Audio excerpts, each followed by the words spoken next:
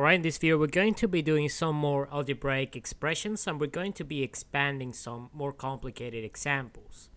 So just to give you a little bit of a recap of what we actually use to expand algebraic expressions, it is called a distributive law and it tells you that if you have some number a multiplied by some number c plus b inside of brackets, then what you're really doing is you're multiplying a times c first and then you're going to multiply a times b.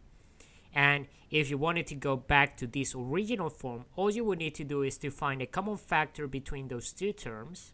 In this case, the common factor is a, so you know that you can write it in this form. So let's do just that. Let's just expand these following expressions and simplify them. So for here, we have 4 plus 6 times x, and then we have minus 3 times 6, which is minus 18, now we have two constant terms here, so we can add them together. 4 minus 18, that's going to turn into minus 16. Or we can simply write, actually, it's going to be minus 14 here. And we can write in the way 6x minus 14. For this one here, we're going to have 2 minus 3 times x, which is 3x, minus 3 times 2, which is minus 6, and now we're gonna have minus 3x minus 6 plus 2 that's minus 4 so that's going to be our result. Here we have minus sorry 4 minus 3x and then we have minus minus 2 so those two negative signs are going to become positive. So this is going to turn into 6 minus 3x here we're going to have 7 plus 2x time and then we're gonna have minus 3 times 2 which is minus 6 so this becomes 2x plus 1 or 1 plus 2x whichever way you want to write it. Generally we write the pronumerals at the front so we're gonna leave it as that. In this example here we're going to have 2x so 2 times x then plus 2 times 3 which is 6 for this one we have plus 3 times x which is 3x plus 2 times 3 which is 6 and now we have like terms so 2x plus 3x that's 5x and we have 6 plus 6 which is 12 for this one we have 2 times 4x which is 8x minus 2 times 3 that's minus 6 minus 2 times 3x which is minus 6x and minus 2 plus minus 2 times 5 is minus 10 so we collect the like terms. We have 8x minus 6x, which is 2x. And we have minus 6 minus 10. That becomes minus 16. Now in this one, we're going to have minus 3 times 4, that's minus 12x. And minus 3 times 3, that's minus 9. Minus 5 times 3, that's minus 15x. And minus times minus, that's plus, so plus 5 so we're going to have minus 3x that results from this. And then minus 9 plus 5, that's minus 4. And for this one, we have minus 4 times 5, that's minus 20. Minus times minus is plus, so that would be 4x. This one here is going to be minus 2x, and then minus times minus is plus.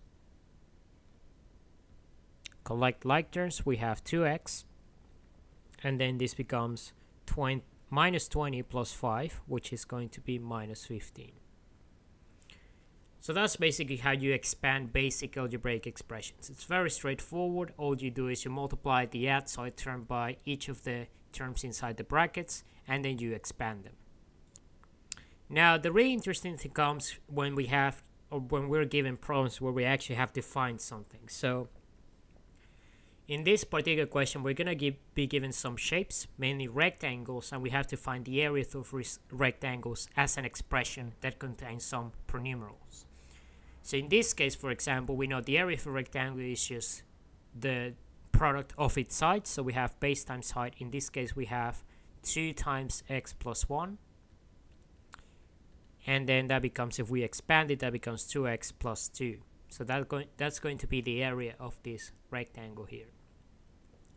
For this one here, we have x times 2x minus 3, so that's x times 2x minus 3. So this times that is going to be 2x squared, because remember we have x to the power of 1 here and here. So we add the powers because we have the same base. That becomes 2x squared minus 3 times x. Now let's go into uh, some harder ones. So for this one, for example, we're not given just a rectangle, but rather a full rectangle. So it's kind of like an O shape. So there are many different ways in which we can solve this. So one example could be we could actually draw an, an invisible line here, so we can split this up into two different rectangles and then find the area of each. Or we could actually draw that line here, and then we could use this portion and that portion. Or even another method could be we draw a full rectangle and then to find the area of this L shape all we need to do is we find the area of the total rectangle and we just subtract this area.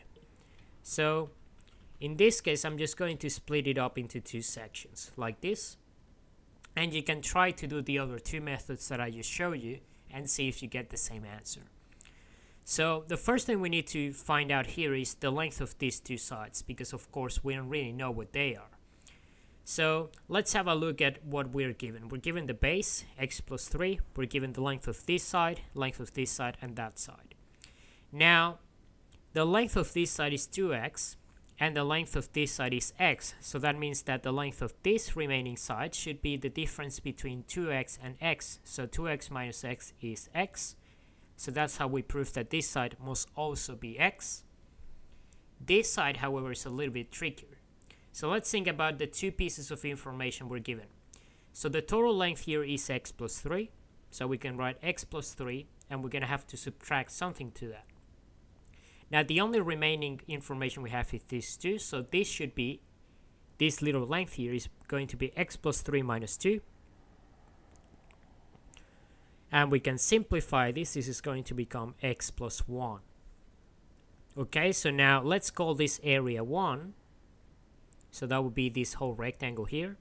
And let's find the area of that. And then area 2 would be the area of this rectangle here. And just to make it clearer, we know that this little length here is just going to be x because this length here is x. So let's find the area 1.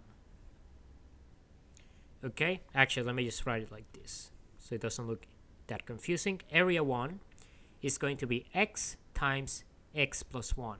So x times x plus 1.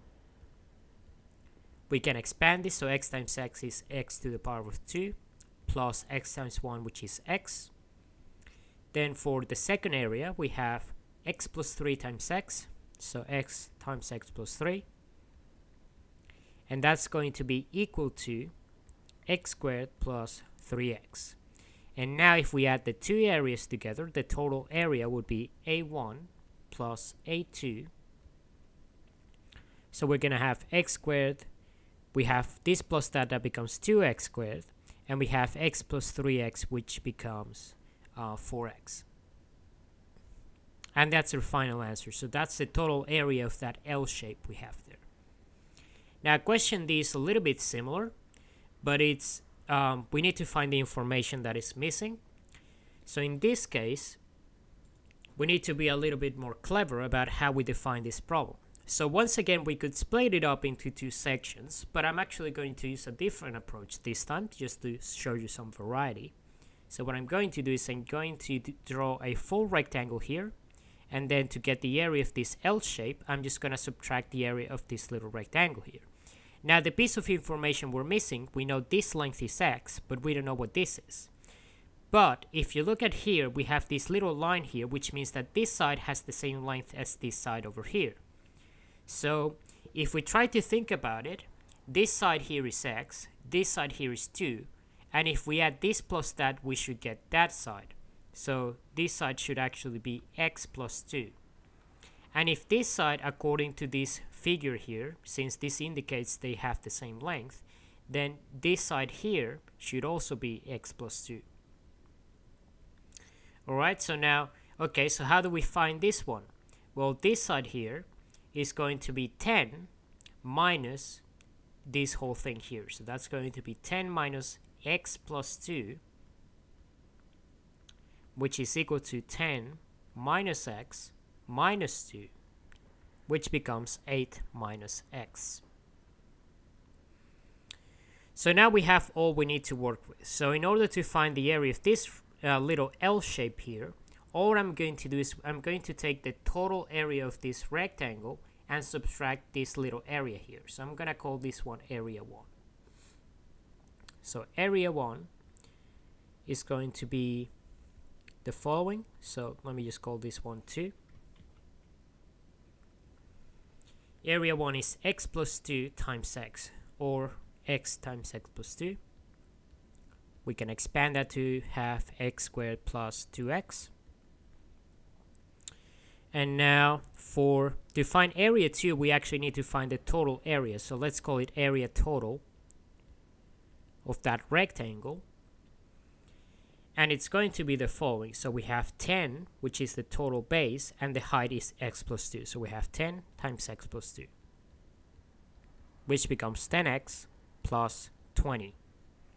And now the area of the L shape, which is what we want to find, is going to be total area minus the area of this little rectangle, A1. So we're going to have 10x plus 20 minus x squared minus 2x. And now we can simplify this even further and say, okay, this is going to be 8x minus x squared plus 20. And that's going to be the total area of that L shape that we have there. And you could have you could pretty much try these two questions using different methods and check that you get the same answer. You should actually get the same answer. So hopefully this show you how you can apply some of these expanding algebraic expression properties to solve more complicated problems in algebra.